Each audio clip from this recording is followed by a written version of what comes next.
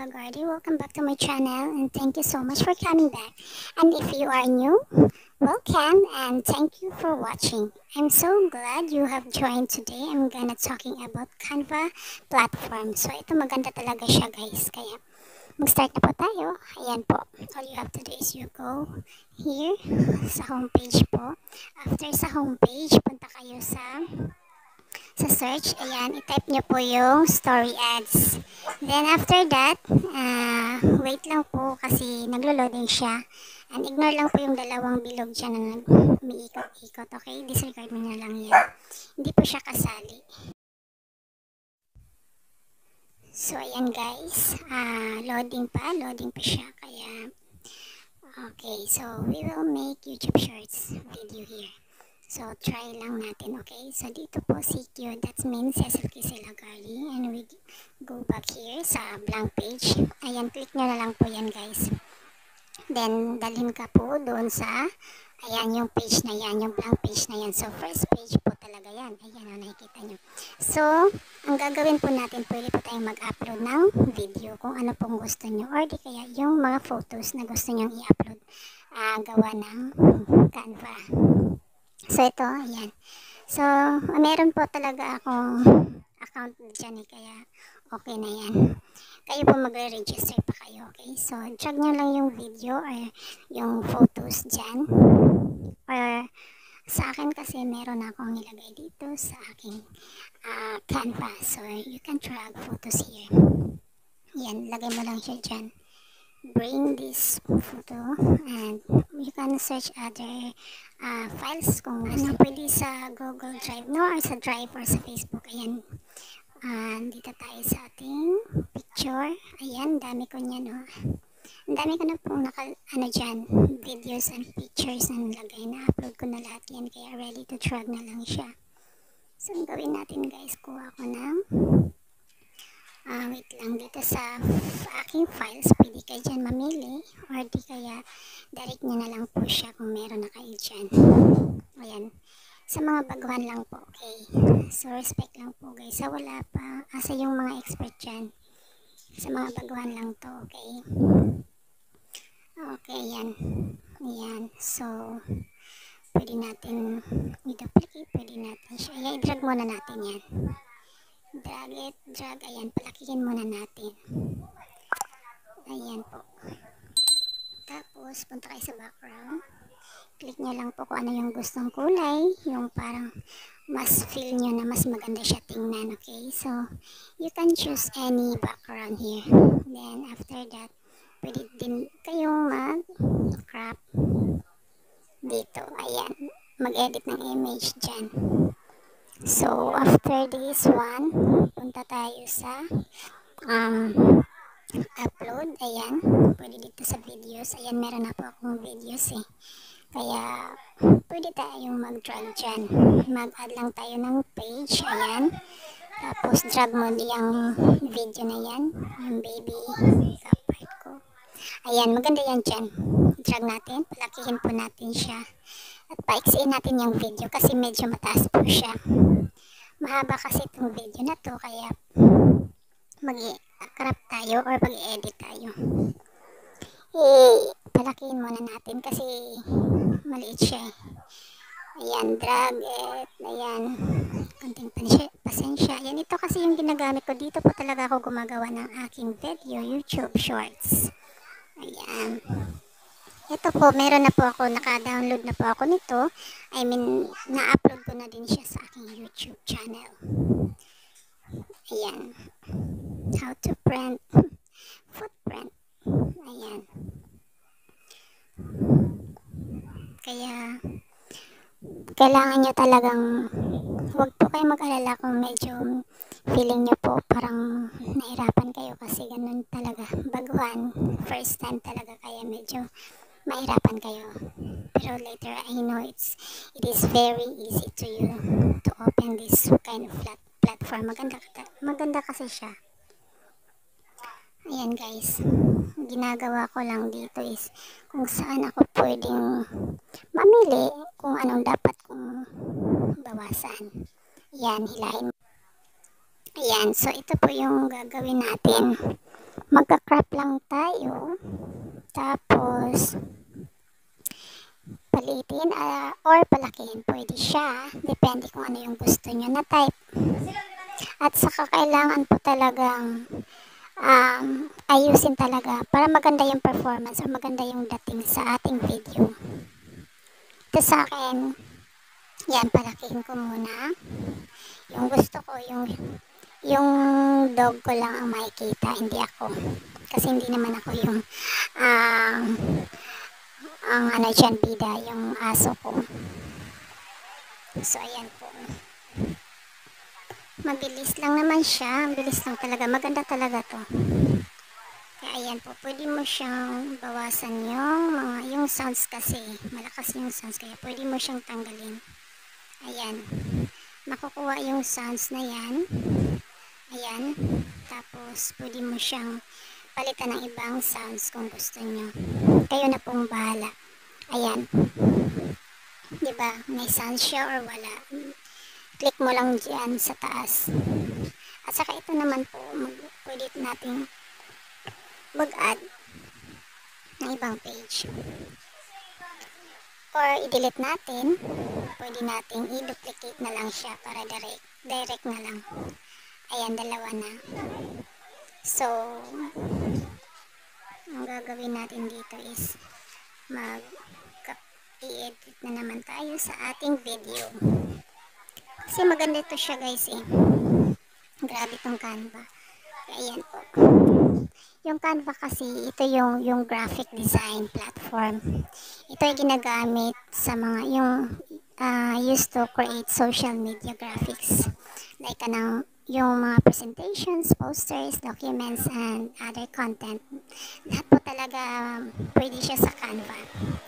Tapos ito, at, uh, ang apps na to ay includes templates and for users na pwede natin napilian kung ano pong gusto natin. Kaya, ang ganda po. Itong platform na to is free to use. Then, kahit ano pong gawin natin, wala po tayong bayad dito. Eh, maganda siya. Gagawin natin dito is, ayan po. Ayan, tingnan nyo na lang po yung mouse ko. Sundin nyo na lang po siya kung saan siya patungo. Ayan, makulit yung mouse ko. Ano. Ganyan lang po ka-easy. Mabilis lang talaga. Kung gusto nyo mag-text, ayan. Meron pong mga design sila doon na magaganda. Pero gusto ko ito na lang free muna. Kasi tutuloy. Ayan guys. So dito, ayan. Itong text na to, dyan po kayo mamili. Ayan, letter T. Kaya maglagay tayo dyan ng title. Itong, yan free lang kasi yan. And the same time, nauna siya. Kaya click mo lang yan. Ayan. Tapos ito ay i-drag mo dyan sa taas. Ayan, dito. Dalawa na kasi yung napindot ko. Kaya ayan, pag-click ko, double na rin siyang na, na ano, napag, nagpakita. Kaya itong text na to, kung depende sa inyo kung ano yung title. Ang importante po yung design at saka maganda yung kuha. Or maganda yung tingnan. Maganda tingnan. Nabalagay ko, practice na lang. Siguro practice. Ayan. So, malaki yan eh. Kaya paliitin natin. You have to drag it. Okay, then, hilahin lang natin dito sa line. Ayan. Tapos, taas mo. Practice. Ayan. Kung gusto niyo po, uh, duplicate niya na lang po to. Ayan, dalawa yan. Dito mo click para dalawa yan. Diyan. Sa sign na yan. Apps dyan. Practice uh, makes perfect uh, practice na lang makes perfect siguro. So, makes perfect. Ay, naku, wala yung S. Ayan, yun na. Basta, practice makes perfect yan. May, mali, ano? Pag-type pa lang na mali siya. Kaya, ayan, guys. Lagay mo dyan. Nagdo-duplicate na lang ako. Hindi na ako nagta-type kasi time consuming siya. Ayan. Okay, tapos yun din ang ginagawa ko. Duplicate dyan. Dalawa na yan. Ayan. Dito mo siya ilagay sa baba. Okay, kahit ano, itong tutorial ko, kung mas kung saan po yung mabilis sa inyo, pwede nyo na siyang gawin anytime kung ano po dapat. Importante yung beginner lang talaga. kung paano siya umpisahan. So, yan guys. Dito ang dami niyong pagpilian, di ba? Ah, mag-explore lang kayo dyan. Pero dito muna punta tayo sa elements, tapos ah, arrow na lang. Kasi ilagay ko siya dito sa gilid para pag nalagay siya sa YouTube Shorts na ah, yung ano niya, matamaan yung share doon. Kasi mag-move yung arrow dyan. Gusto ko yung mag-move. Once na ma-open nila, tapos yung arrow na to, pag nilagay ko, saka gumagalaw-galaw. Uh, kumukuha din siya ng attention para ma-share siya or ma-like. Supposed to be pag ganito kasi YouTube Shorts, eh, merong mga bio sa link na yan o sa description. Pero ang gagawin kong arrow na to ay dahil para ito sa may matamaan yung button na share. Once na nag-direct na siya sa YouTube Shorts ko. Ayan guys, maganda to talaga. Uh, free lang talaga to, free to use yung Canva platform. Mabilis din siyang gamitin. Kaya ito yung magandang mag-create ka ng mga amazing graphic design, presentation videos, and etc. Kung ano yung gusto nyo. Lalo na po sa school, kung ano yung aside sa PowerPoint, nandito rin po lahat yan. So, try nyo na po siya gawa siya ng canva.com. So, to make YouTube Shorts gamit ang Canva platform. Ayan, maganda talaga siya guys. Kaya, kunting ano lang. Okay, huwag niyo pong kalimutan na mag-like and subscribe sa aking channel. Ayan. So, mag-upload kayo. Ayan. Kung ano yung sound effects niya kung lagyan mo siya ng sound effects. Tapos kung walang sounds background pwedeng ito po. Nagda-download po ako or nag-upload po ako ng mga videos from YouTube uh, tutorial sa YouTube.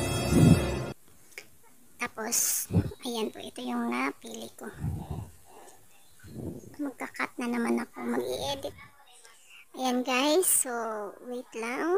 Uh, ito lang talaga yung ginagawa ko. Every time na mag-upload ako ng mga uh, YouTube shorts ko to my YouTube channel. So, maganda talaga tong Canva. Ito namang ginamit ko ngayon is yung screen recorder ko talaga. Ang gamit ko is ang uh, OBS Studio. OBS Studio talaga ang gamit ko. Kaya ang gagawin nyo po ay mag-upload Tapos kayo na pong bahala kung ano po talaga yung gusto nyo na sound effects na yung bagay po siya. Kayo na pong bahala dyan. Kaya ang sa akin po dun sa mga beginner na gustong matuto kung paano gamitin yung YouTube. Uh, I mean, paano gamitin yung canva.com. Canva yung platform na to kasi maganda siya. Dito ko gumagamit talaga lahat ng mga YouTube shorts ko sa aking YouTube channel. Dito ko talaga ginagawa lahat. Kasi mabilis siya guys. Kailangan lang talaga meron tayong stable na connection. Ang connection talaga yung pinaka-importante guys. Hindi tayo makagawa ng ating mga videos if we don't have a connection. So yan guys, tingnan nyo lang po siya. Yan pong ginagawa ko. Ginagawa ko. I-ignore nyo na lang po tong dalawang bilog po ha. Kasi sa ano yan eh, yung pag-record ko lang talaga. Ayan guys, so tagal po siya no. Kaya try natin dito. Ayan. Kasi dito gumagamit talaga ako ng mga ed, ano, yung background music. Lahat ay nandito na. Ang lahat ng aking mga kailangan ay nandito na sa Canva. Pero alam nyo guys, ang gamit ko ngayong screen recorder is uh, OBS Studio. Kaya mayroong bilog na dalawa dyan. Ayan. Kaya talagang if you want to create amazing graphic design, so yan guys, ito na po siya. Uh, yan lang po yung ginagawa ko talaga, yung nag edit ng mga sound effects. Yan. Tapos, baka akala nyo nandyan nga, hindi po yan. Eh, meron po kasing transparency nito, kaya wait lang. Maganda talaga siya, kaya be patient na lang po. Pwede nyo na lang po siya i-forward kung paano ko siya nagawa para mabilis. Um, ayan. Ang gamit ko ay OBS Studio kaya medyo may dalawang bilog dyan na umiikot-ikot na parang wheels. Kaya yan guys, ito po yung kung paano siya gawin. Uh, Siyempre magta-type lang talaga kayo sa Google. Uh, you have to type a canva.com at magda-direct na siya kagad sa homepage. Mag-register kayo doon.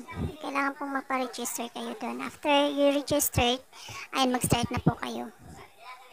Kasi free lang po yung platform na yan, wala pong bayad. Kaya okay okay po talaga tong Canva.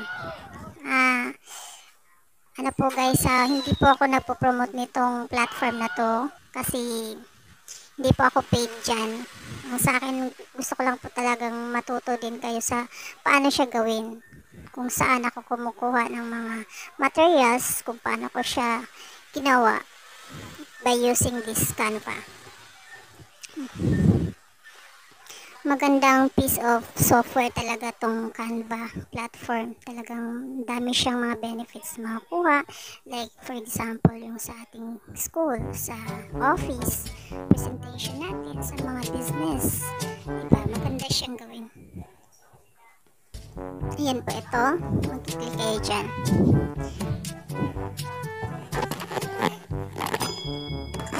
Ayan. Ika lang guys ha. Kaya puting pasensya lang po. So, yan. Magaganda talaga itong mga design dito sa Canva. Ah, ito na yun guys. Kaya konting pasensya lang kung medyo po yung explanation ko hindi siya masyadong clear pero at least po dandahanin nyo na lang po siyang intindihin. Just try to understand and just try to explore yourself. Kasi po sa akin talaga self-learning strategy po yung ginagawa ko. And I'm engaged this for almost 6 months sa Canva. And now, uh, syempre may bago na naman akong ibang platform na pinapasukan ngayon, yung OBS Studio. And now, I'm using it right now. Kasi po, napapractice po ako mag-record.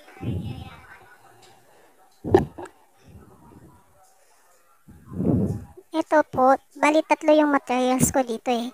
Una is yung ginamitan ko siya ng uh, audio studio recording. Then, after this, uh, syempre, sinend ko siya sa aking Kenny Master or Kind Master. Then, after this, uh, syempre, ang gamit ko ay, ayan, ito po, dito sa Canva.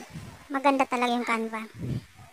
So, siguro at the end of this uh, sa aking uh, video tutorial, alam ko po na marunong na rin po kayong uh, gumamit ng Canva. Okay, i-play lang natin. Hindi ko pa siya na-upload. Na Hindi ko pa siya na-download sa aking MP4, sa aking files. Ayan. Every time po talaga kayo, before kayo mag-upload or, or mag-download, eh, kailangan nyo pong i-check kung okay na po siya. Kaya maganda talaga to guys. Grabe. As in amazing po talaga yung Canva platform na to. Ayan guys. So ito na yun guys. Maganda siya. Gamitin talaga. Napaka-easy lang. I-play lang natin. Okay. So after playing, ayan po. Kung hindi naman siya maganda yung sounds niya, yung pag-testing nyo, uh, pwede nyo naman siyang i-change. Okay. So you can close this. Um, sample. Ayan. Then, pwede mo siyang ulitin or di kaya pwede niyo siyang i-download. Kaya ayan po, magda-download na siya. Ida-download ko siya kung gusto ko, if okay na. Ayan. After download po, i-click mo lang yan diyan sa taas na may arrow at sa baba, direct na po siya mag-download. Ayan. So, kaya guys, don't worry po kung medyo merong mga medyo konting mali-mali dahil po yan po ay ating natural talaga na meron po mga mistakes. Pero ganito po yung ginagawa ko. Ang aking YouTube Shorts, ayan, ibig sabihin pag nag-appear na yan, uh, consider na po siya magda-download direct to your MP4 or sa inyong files. Kaya guys, try nyo na lang siya with your own exploration. Kaya sa akin talaga self-learning style lang talaga sa akin. Um, or di kaya punta po kayo sa YouTube tutorial. Punta lang po kayo. Napakadami po doon na option na pwede nyo pagpilian. Na mas kung asan po yung ah, yung way of learning nyo na mas mabilis po siya makuha. Ayan, nandito na siya guys sa aking file sa download. Ayan, tapos, ayan, dito po siya nakikita nyo. Ayan, sa download, may, may ano siya, may makikita kayo dyan. Ah, nagda-download na ako. Kaya yan guys, eh, after dito sa download na yan, pwede nyo siyang i-check. Dyan, hanapin mo, pero huwag na lang muna for now. Balik tayo sa ating Canva.